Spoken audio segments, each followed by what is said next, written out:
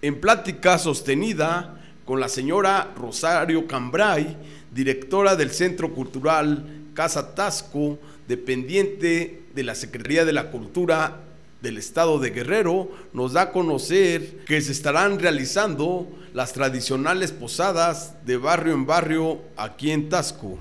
Ya estamos preparando el programa Diciembre en la Tradición Popular, que este año cumplimos 28 años de manera ininterrumpida de estar llevando las tradicionales posadas de barrio a barrio y de iglesia a iglesia. En esta ocasión partimos mañana de la iglesia de Santa Prisca a la iglesia de Guadalupe. Y así se van a ir de, de iglesia a iglesia por todas las principales capillas de Tasco. Del 16 al 24 estaremos visitando diferentes barrios, diferentes iglesias. Invitamos a toda la gente que nos está viendo para que se dé a partir de las 18.30 horas en la parroquia de Santa Prisca. Estaremos partiendo con la procesión donde nos estarán recibiendo los vecinos del barrio de Guadalupe con los tradicionales ponches, aguinaldos, piñata y de nuestra parte la pastorela que estamos presentando con el grupo de teatro del Centro Cultural Tasco Casa Borda. Este año, ¿cuántos integrantes este, son de la pastorela?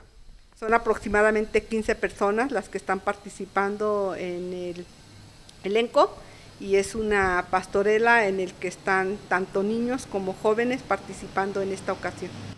Cada año es una presentación diferente de la pastorela, es diferente la, la obra.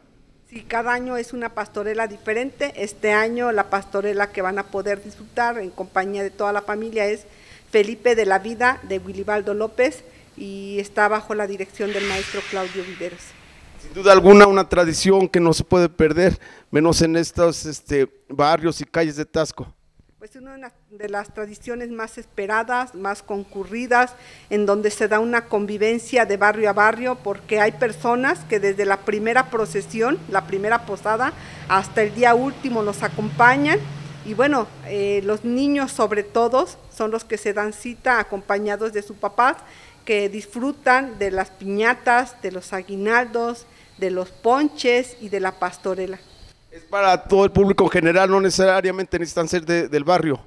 No, lo más bonito de esta tradición es que se dan cita a personas y vecinos de todos los barrios.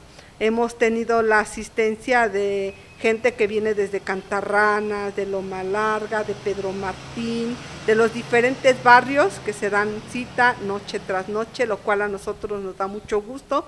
Y después de 28 años ver cómo aquellos niños que iniciaron con nosotros participando, ahora muchos de ellos ya padres de familias que llevan a sus hijos y que sus hijos son los que nos ayudan a cargar los peregrinos, a ir en el comité de orden y vigilancia y ya incluso algunas muchachas que en aquel entonces acudían como meras participantes, ahora forman ya parte del comité y son las que me ayudan en las procesiones y en las diferentes actividades que realizamos durante los nueve días que dura esta tradicional posada.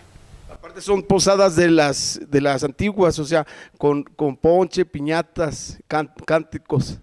Efectivamente, fue una de las inquietudes que surgió hace más de 29 años junto con el párroco Vicente del barrio de Guadalupe, don Adán Alvarado, que en paz descanse, el buen amigo Juan Crisóstomo Estrada y su servidora, nos dimos a la tarea de recuperar las tradicionales posadas de barrio a barrio, de iglesia a iglesia. Queda abierta la invitación a acudir a estas bonitas tradiciones tasqueñas y a divertirse con las pastorelas.